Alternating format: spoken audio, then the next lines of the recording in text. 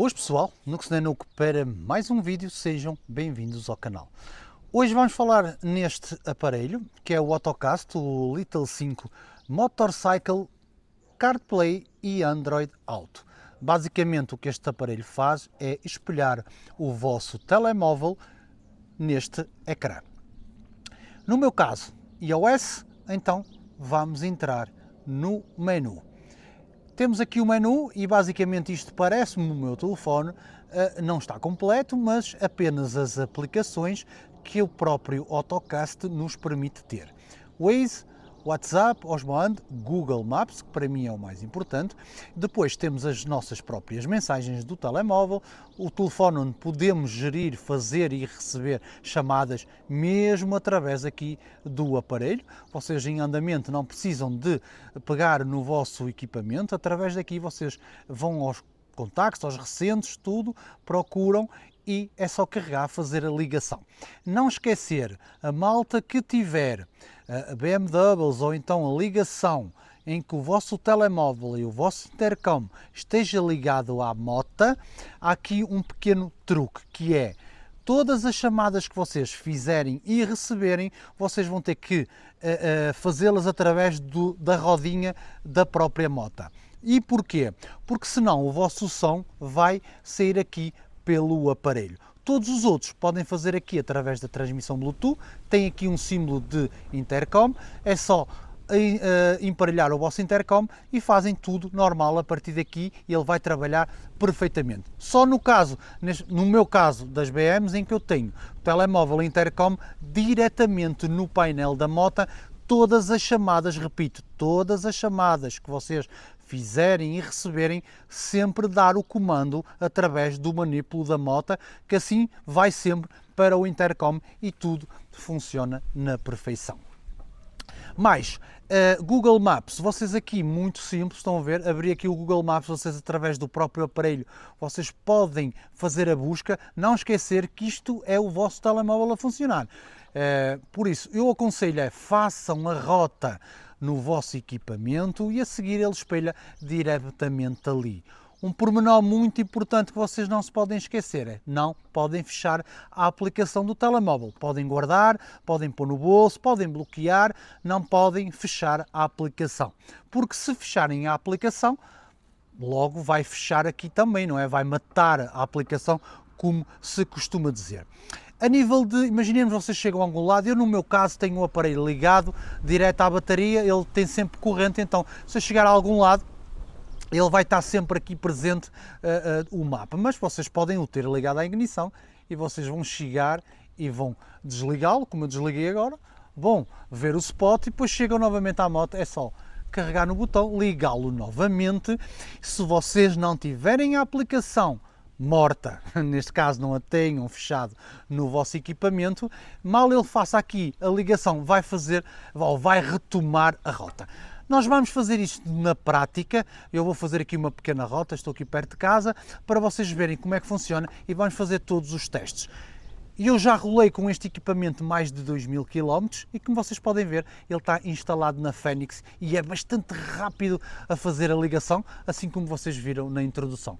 Mas vamos fazer aqui uma pequena rota aqui perto de casa e vamos vos mostrar como é que funciona eh, mais na prática, mas para agora posso-vos dar um spoiler, aquela malta que não quiser ver mais nada, leva o thumbs up e podem comprar, como vocês veem, está aqui montado na Fênix. Se está aqui na Fênix é porque eu gostei do produto. Vamos lá, até já. Pois é, malta, então estou aqui a ver a rota que eu estive a fazer uns spots bem à maneira, umas coisas bem giras. Estou a brincar. Neste caso, marquei aqui a farmácia, marquei aqui a lojinha. Eh, vamos fazer aqui então um pequeno mapa aqui para vos tentar exemplificar como é que uh, o AutoCast, uh, o Little C5 funciona. Pronto, vocês viram, ele já fez a ligação e eu ainda nem fiz aqui para começar, nem vou fazer nada. Vou bloquear, bloquear o telefone e vou guardar e a partir daqui fazemos tudo diretamente no aparelho. Vamos carregar para iniciar. Ok, vamos lá. Em direção então à farmácia. Vamos arrancar. E vamos falar um bocadinho sobre então o, o, o aparelho. Vamos só fechar aqui a viseira. que é que eu vos posso dizer? Prós e contras, é assim, tudo o, o que eles dizem que ele faz, até à data, não me, não me desiludiu. O visor, muitos de vocês podem estar a perguntar, pá, mas será que se vai ver bem com a luz? É, pá, perfeitamente bem. Como vocês podem ver, hoje está bastante sol é, e o aparelho, pá, eu estou aqui com uma viseira hum, espelhada, que ainda é mais escura, e vejo perfeitamente. Uh, em relação a isso, não tenham qualquer tipo de problemas que a visibilidade vai ser ótima. Uh, crashes do aparelho tive poucas, tive uma ou outra, mas nada demais. Inclusive, nós semana passada tivemos em Sevilha com temperaturas de 50 graus. pois é, 50 graus. É, e nessas alturas os aparelhos, pelo menos os iPhones, começam a aquecer demais, começa a haver stress, mas não tive qualquer tipo de stress com o aparelho, nem com as eh, temperaturas elevadas, manteve-se aqui a trabalhar 5 estrelas. No meu caso, eu tenho o aparelho ligado diretamente à bateria, ele tem uma caixa com fusíveis, por isso então eu liguei-o diretamente para me poupar apenas timing, isto é tudo uma questão de tempo eu poderia ligá-lo à ignição e tipo, quando eu parar em algum lado desliga a moto, ele também desliga. E depois ao ligarmos ele vai retomar, mas eu já vos vou mostrar isso mais à frente. Mas eu liguei diretamente à bateria porque uh, uh, às vezes faço aquelas paragens só curtas de 5 minutos uh, na berma da estrada por algum motivo e, e, não quero estar a perder muito tempo, que às vezes nem a moto desligo, mas assim fica sempre aqui a ligação a, a funcionar e eu preferi assim, mas pá, a malta que quiser então fazer a ligação diretamente à ignição. Ah, como queiram, isso já vai então ao gosto de cada um.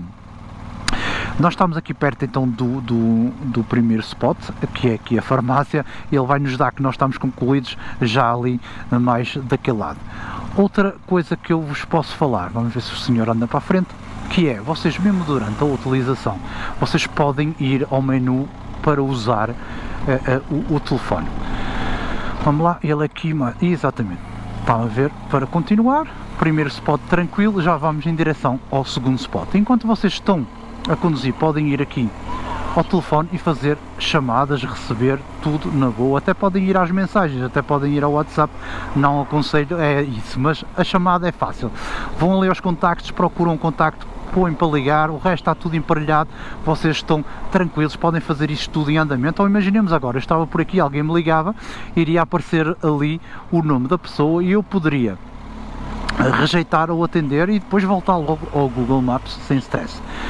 Outra questão, imaginemos eu ia parar aqui, ainda me falta aqui um bocado até ao meu próximo spot e eu iria parar aqui porque teria aqui um café e eu então, eu como estou sempre a ressacar de café, iria aqui tomar um café e neste caso eu iria desligar a moto, o aparelho não me desliga uh, porque eu tenho direto à bateria, é esta parte que eu gosto de poupar tempo, ia aqui ao café, o telemóvel ficava aqui, eu tomava um café, metia-me em cima da moto, arrancava e não tinha que estar à espera de nada, mas imaginemos que vocês não são estressados como eu e têm sempre muito mais tempo para estar a usufruir, que eu sou um bocadinho mais assim uh, acelerado, então uh, vocês desligavam tudo, desligavam o aparelho, iam tomar o vosso cafezinho e tal, e no entanto, podiam mexer no telemóvel à vontade, logo que não fechassem a aplicação, estava tudo bem. Voltámos para a moto, enquanto estamos a meter as luvas, a meter o capacete a baclava, já ligámos o aparelho que é para ele fazer então a ligação. Não se esqueçam, eu estive no café, estive uh, uh, no Instagram, estive no WhatsApp, tive tudo, mas deixei sempre a aplicação do Google Maps aberta em segundo plano. Nunca a fechei, que era para não ter que estar a voltar a fazer todo o processo novamente. Vamos aguardar então que ele ligue, entretanto vamos ligar a Fênix. Estão a ver? Está aqui a dar logo para eh, iniciarmos o, o, um, o próximo ponto. Neste caso, eu ainda posso dizer assim: ah, mas se calhar não, é, não vou fazer eh, o próximo ponto, vou passar para o próximo. Vocês podem, ou através do aparelho, ou através do telefone, matar a próxima paragem. Neste caso, mato a próxima paragem porque já não tenho tempo para ir lá não é? Já não tenho tempo, fechei a, a, próxima paragem, mas vocês viram que ele foi fazer ou retomou uh, uh, todo o percurso que eu tinha marcado sem qualquer tipo de dificuldade, mesmo com ele desligado. E são estas coisas que realmente são práticas e são boas de usar. Eu gosto de coisas práticas e que funcionem. Uh, pá, quando as coisas são muito complicada e depois, mas chega a um ponto às vezes é só bugs e tudo, aqui não temos bugs nenhums, as coisas vão trabalhando, pode haver um bug ou outro, estão a ver, ó, concluir, já chegamos, ok, fizemos a nossa rota sem qualquer tipo de stress, é como eu estava a dizer, alguns bugs, pode, pode haver alguns bugs, por exemplo, o que é que pode acontecer? Um, vocês uh, traçarem uh, a vossa rota e depois fazerem um ponto de paragem e desligarem a seguir o aparelho e depois quando vai retomar ele vai buscar aquele ponto que vocês já passaram atrás, pode acontecer, mas isso vocês estão a olhar?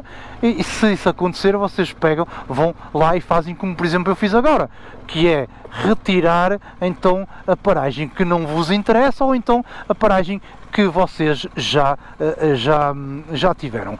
Por isso é como vos digo, malta, um aparelhozinho que para mim uh, um, pá, está e vale realmente o, preço dele. Já tinha visto este aparelho mais do que uma vez também na, à venda na net, mas tinha sempre as minhas dúvidas, tipo, será que isto vale? Será que não vale? É que ainda estamos a falar de, de, de uma quantidade de, de, dinheiro assim alta.